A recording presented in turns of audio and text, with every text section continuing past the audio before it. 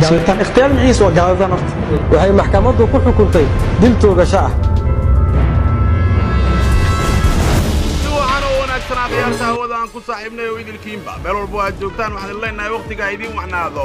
لما أنتي بموقارك اللي جري يا إدرب بموقارك اللي جري سبحان الله سبحانه وتعالى عن كبر ينام مره لا ده إلهي نوساله إلهي سبحانه وتعالى أنا أولاد وبركة أنت أولاد دون كان إلهي أولاد باري هسي أنت جبر دون كان جبر ونكسر iyo mustaqbal wanaagsan eebba ha siiyo waxaan ilaahay subxaana wa tacaala aan kaga baryaynaa qof walboo muuqaalka leegta ku qabto ilaahay aan u weydiinaynaa in dembigoodii dembiga waalidkoodba eebba uu dhaafo. Dhammaanteenna ilaahay waxaan ka magangelaynaa cudurka adduunka wareeriye coronavirus. Yaa rab ilaahu ummadda soomaaliyeed waa og tahay xaaladooda iyo xaaladda dadka soomaaliyeed ee soomaaliya jooga ay ku sugan yihiin. Ilaahu ka ammaanso cudurkan coronavirus. Iyo waxa la midkaa waxaan allah subxaana wa tacaala dhammaantiinba aan idinkaga baryaynaa in awlaadda uu idiin xifdiyo inta awlaaddoonkaana إلهي أولاد باري هاسي أنت قلتون كأنا قول ونأكسن إيه مستقبل ونأكسن إلهي هاسي يغفر الله مقالك لك تقوقف طبعا ربي سبحانه وتعالى عنك قبر ينا إن إلهي أموره أموره أولي يا إن إلهي تدق دقا وقسالو فرش قرقبان إلهي وفر عمري ديرادي عبادة سوبان إلهي نوسي حاسدك waxaan leenahay wa min sharri xaasidin idaa xasada alxaasid laa yaflax. Biidni illaahi alkariim waxaa kuu dambaynaya hoog iyo khasaaro. Maxaa yeelay xaasidka waa midka qirabay soomaaliya. Waxaan rabbi subxaana wa tacaala aan ka baryaynaa in xaasidiinta uu hoojiyo guryahooda ilaahay subxaana wa tacaalana ummadda uu ka dhex qabto leegtana lacag meehe ku qabo muuqaalka leegta. Xog xasaasi ah ayaan idiin soo gudbin doonnaa hadduu allaha awoodda leh uu idmo taasoo ku saabsan. Halkee ayuu ku dambeeyey maxamed xaajow oo loo yaqaan ilka case. Kana tirsanaa amniyaadka dagaalyahanada al-shabaab ahaana madaxii amniga ee gobolka banaadir. Maxaase kala socota xogihii ugu dambeeyey xaajow oo kol hore dil ay ku xukuntay maxkamadda ciidamada. Door inteeleg ayuu ku leeyahay xakinta iyo weliba sii yaraashaha qaraxyadii iyo dilalkii joogtada ahaa ee ka dhici jiray muqdisho. Maxamed xaajow ilka case haddaba waxaan idiin soo gudbin doonnaa xog xasaasi ah iyo warbixin la yaab leh oo arrintaasi ku saabsan haddaad nagu cusub tahay si aa u heshid xogagta iyo macluumaadka aan soo gudbidno islamarkaana aad kaga mid naqatid kumanaanka kumanaanka kunee nagu xihan fadlan furo gambaleelka oo nagu soo biir. Maxamed xaajow oo loo yaqaan ilka case islamarkaana lahaa magacyo kala duwan sida cadaawe khaalid wuxuu muddo ka tirsanaa amniyaadka dagaalyahanada dhaqdhaqaaqa al-shabaab waxaana la sheegay xaajow in aasaaskii al-shabaab kadib uu ka mid ahaa amniyaadka al-shabaab sida qudhiisa uu qirtay. Waxaana la sheegay in xaajow uu muddo ka shaqaynayey ama maxamed xaaji muddo uu ka shaqaynayey amniyaadka.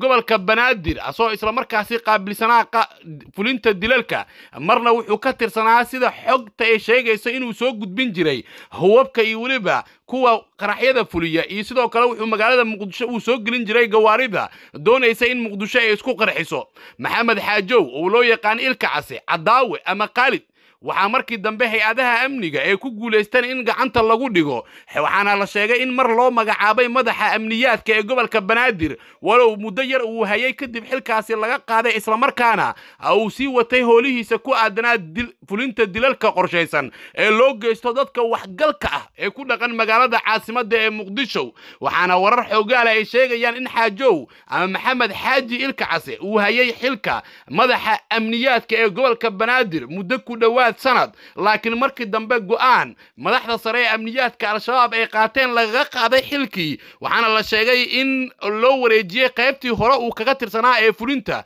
dilalka qorshaysan.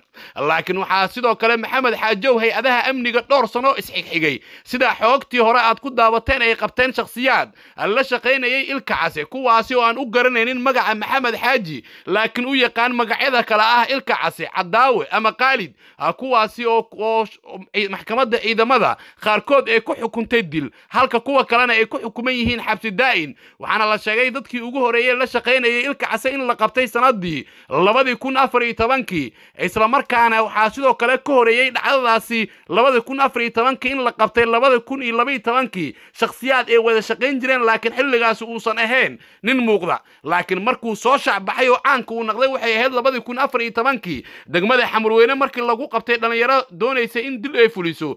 Kuwaasi oo markii dambe sheegay in hubka uu u soo dhiibay nin lagu magacaabo ilka case laakiin ilka case ayaa sidoo kale dhowr mar ciidamada ammaanka. Sanadii labada kun lix iyo tobankii iyo shan iyo tobankii waxay ku kala qabteen. Howlgallo ka kala dhacay degmooyinka waaberi iyo xamar jajab. Laakiin xilligaasi maan la ogeyn ama dowladda maysan ogeyn in ilka case uu yahay qofkan ay qabteen ee maxamed xaaji. Laakiin dabadeed asagoo kaashanaya saraakiil ka tirsan ciidamada ammaanka waxa uu qortay hay'adda nisa asagoo islamarkaasi ku wargeliyey madaxii sirdoonka ee xilka lagaga qaaday islamarkaana ceebta ay hareysay sakariye ismaaciil maxamuud xirsi kol horena ahaa madaxii amniyaadka ee dagaalyahanada al-shabaab. Ayaa la sheegay in maxamed xaajo uu u yimid islamarkaana uu ku wargeliyey inuu yaqaano shakhsi lagu magacaabo ilka case oo isku deegaan ay ku ahayeen gobolka shabeellada hoose kaasoo haysta amniyaadka gobolka banaadir. Waxaana sakariye iyo weliba ilka case ay ku heshiiyeen in ilka case uu soo qabto maxamed xaaji oo isla ilka casiga asiga uu ahaa.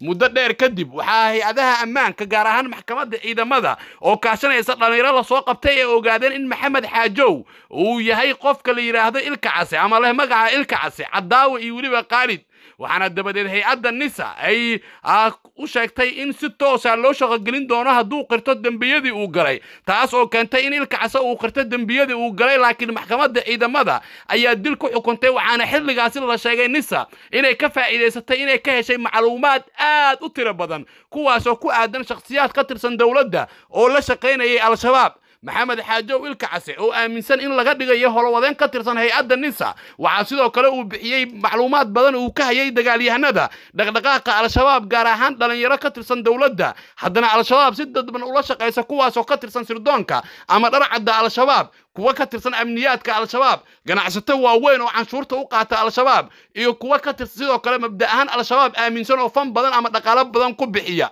Waxaana hay'adda nisa dabadeed ay daba gashay macluumaadkii uu bixiyey maxamed xaajow waxaana la sheegay xaajow madaxiisa ama maxamed xaaji ilka case khaalid ama cadaawe. Madaxiisa waxay hay'adda nisa u soo xirtay in ka badan toddobaatan iyo shan qofood kuwaasoo ay ku jiraan xubno bulshada dhexdooda ka dhex muuqday. Waxaana la sheegay in toddobaatanka iyo shantaas qofood ay iskugu jiraan xubno ka tirsan shaqaalaha dowladda ama ka shaqaynayay xafiisyada dowladda waa ganacsatayaal caan ah. Shakhsiyaad ka tirsanaa amniyaadka al-shabaab ee dilalka fuliya. Iyo sidoo kale haween tiro badan oo la sheegay in qaarkood ay ka tirsanaayeen xafiisyada dowladda. Waxaana hadda kuwaasi ay u xiran yihiin hay'adda nisa waxaana saraakiil hay'adda nisa ka tirsan aan la hadlay ay xaqiijiyeen. In in badan oo ka mid ah kuwa xiran baaris lagu sameeyey la ogaado in macluumaadka uu bixiyey maxamed xaaji ilka case ay ahaayeen macluumaad saxsan. Halka kuwa kalena weli ay xiran yihiin laakiin lagu daba joogo ama baaristooda ay socoto. Mana jirto shakhsiyaad weli la hor keenay maxkamadda ciidamada waxaana dadkan hay'adda nisa ee xirtay ee uu macluumaadkooda bixiyey maxamed xaajow ilka case kuna dhow boqolka qofood korna u dhaafay toddobaatanka qofood waxaa la sheegay in ay weli ay xiran yihiin islamarkaana hay'adda nisa gacanta ay ku hayso kuwaasina waxaa la sheegay inay sii sheegeen kuwo badan oo ka tirsanaa dagaalyahanada al-shabaab gaar ahaan xubno lafdhabar u ah dhaqdhaqaaqyadii xagga amniga ee magaalada caasimadda ee muqdisho. Waana midda yaraysay in qaraxyadii joogtada ahaa ee dagaalyahanada al-shabaab ay ka geysan jireen magaalada muqdisho ay yaraadaan islamarkaana dalalkii qorshaysnaa ay sidoo kale ay gabaabsi ay ku yimaadaan maadaama la qabtay kuwo badan oo ka tirsanaa sirdoonka al-shabaab iyo weliba kuwii fulinayay dilalka. Waana tallaabooyin maxamed xaajow maxamed xaaji ilka case uu macluumaad uu bixiyey taas oo ay ka faa'iidaysatay hay'adda nabad sugidda iyo sirdoonka qaranka soomaaliyeed ee nisa waxaana saraakiil ka tirsan nisa oo uu ka mid ahaa madaxii sirdoonka nisa. Kol horena ka tirsanaa madaxii ama ahaa madaxii amniyaadka ee dagaalyahanada al-shabaab sakariya ismaaciil maxamuud xirsi. Waxaa kolkii maxkamadda ciidamada ee soo qabatay ilka case uu ku adkaysanayay in shakhsigan uu yahay shakhsi nadiif ah. Macluumaad badanna hay'adda nisa uu u keenay laakiin saraakiil badan oo xilligaasi sakariya fikirka la qabtay oo hadda weli ka tirsan hay'adda waxa ay aaminsan yihiin in maxamed xaajow ilka case xiristiisa ay maxkamadda ciidamada ay ku guulaysatay in macluumaadka ay keento ay ka faa'iideen macluumaad aad u badan taasina ay keentay in amnigii magaalada caasimadda uu soo hagaago islamarkaana dilalka qorshaysnaa ee magaalada ka dhici jiray ay yaraadaan iyo weliba qaraxyadii dhici jiray. Waana midda keentay in saraakiisha nisa ay u mahad celiyaan maxkamadda ciidamada oo door muhiima ka ciyaartay soo qabashada maxamed xaaji ilka case. Ilka case ayaa waxaa la sheegay in arrimaha uu bixiyey muhiimadda ugu weyn ee uu ka lahaa ay ahayd ama dadkan tirada badan ee uu sheegay in hay'adda nisa ay u samaysay ballanqaad aad u weyn oo ku aadan in la siin doono nolol aad u wanaagsan. Kana mid kana mid noqon doono saraakiisha ugu saraysa ee hay'adda nisa. Laakiin aakhirkii waxay hay'adda nisa oo kaashanaysa maxkamadda waxay geysay maxkamadda ciidamada. Maxkamadda ciidamadana waxay ku abaalmarisay dil toogasho taas oo ah tii uu mutaystay. Maadaama dad badan oo muslimiin oo soomaali ah uu hore uu u dilay maxamed xaaji oo loo yaqaan ilka case. Laakiin ilka case waxay sheegaan khubarada xagga amniga inuu ahaa nin aad khatar u ah maadaama sannado badan uu la shaqaynaya hay'adda nisa asoo isla markaasi raadinaya isla soo isla markaasi raadinaya ilka case oo isla asigii ah waxaana la sheegay in uu ku qaadan jiray raadinta ilka case oo asiga ah lacago aad u tiro badan. Waxaana sidoo kale ila xoogaale ay xaqiijiyeen in loo gaday intuu hay'adda ka tirsanaa laba gawaari oo aad qaali u ah. Waxaana sidoo kale ilka case hoos uu ka watay fulinta dilalkii qorshaysnaa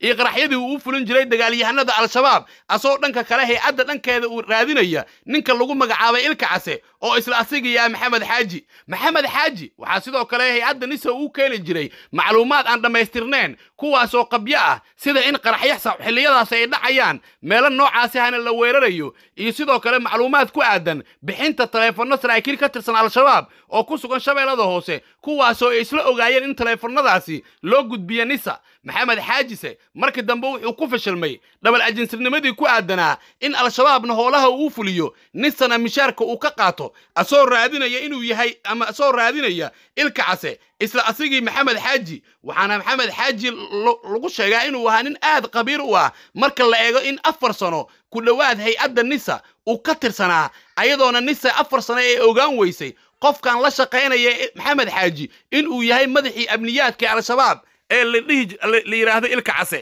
Haddaba xogta ku saabsan ilka case iyo weliba go'aanka maxkamadda sare ciidamada oo ayadana dhowaan la sheegay in dilka ay ku raacday maxkamadda. Darajada koowaad mar kale ayaan faahfaahin doonnaa. Dhammaantiinba ilaahay idin xifdiya ilaahay umuuraha leedin as'alu allahuma laa sahla ilaa maa jacaltahu sahlan fajcal umuurana wa umuura almuslimiina kullaha sahla. Ilahay oo dhammaantanba waxaan ku weydiisanaynaa gargaarkaaga kaalmadaada iyo naxariistaada. Ilaah waxaan kaa magangelinaa cuduraadka adduunka wareeriyey. Ilaahu inta xanuunsan ilaahu xanuunka ka dulqaad. Yaa rab ilaahu dhammaanteenba coronavirus ilaahu naga ammaanso ummadda soomaaliyeed ilaahu ka xijaab. Gargaarkaaga iyo nasrigaaga iyo ku weydiisanayna ilaahu dhammaanteenba faraj khayr qaba. Ilaahu inoo fur. Ilaahay waxaan kaa baryaynaa ilaahu awlaadda inoo xifdi inta awlaaddoonkana ilaahu awlaad baraya ilaahu ummadda soomaaliyeed ilaahu isku ken ilaahu culayska ilaahu culayska ka dulqaad dadka soomaaliyeed ee dhibaatada iyo culayska uu hareeyey ilaahu ummadda soomaaliyeed. Culayska iyo dhibka iyo weliba dhibaatada haysata ilaahu ka dulqaad ilaahu waxaan ku weydiisanaynaa gaalmadaada iyo gargaarkaaga. Iyo naxariistaada wasala allahuma calaa nabiyina muxamedin wasallim tasliima. Subxaana rabbika rabbi alcizati camaa yasifuuna wasalaamun cala almursaliina. Walxamdu lilahi rabbi